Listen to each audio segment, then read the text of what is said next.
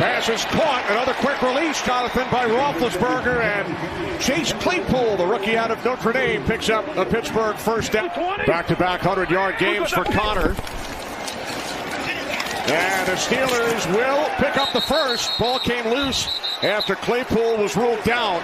Snell remains in the backfield. Second and goal. Into the end zone is Claypool for a Steelers touchdown.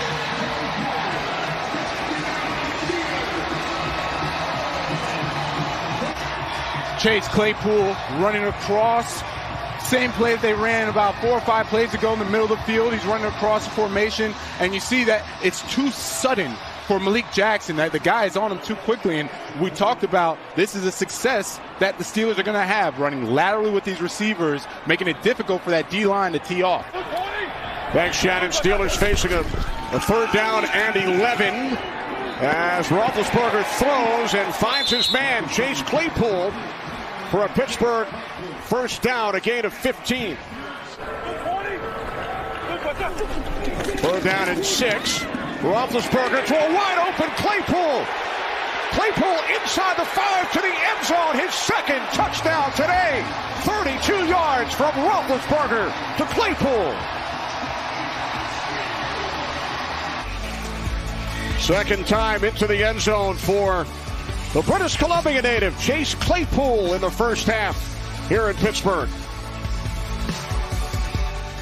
From the 25 with a three-point lead.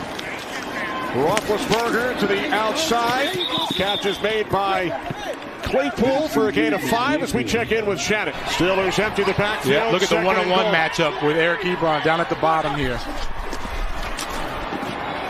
This is Claypool. Ooh.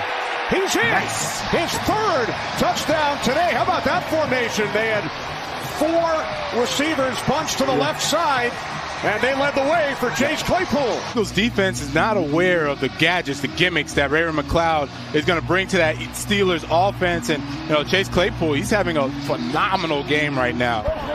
Third down and four. Steelers must get to the 47 for a first down, and they do. As Claypool makes the catch.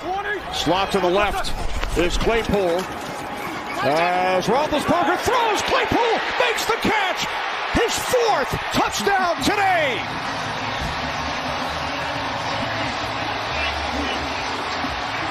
He's inside. This is a slot position. He's going to go and he's going to sit here and give a stutter move right there to the linebacker.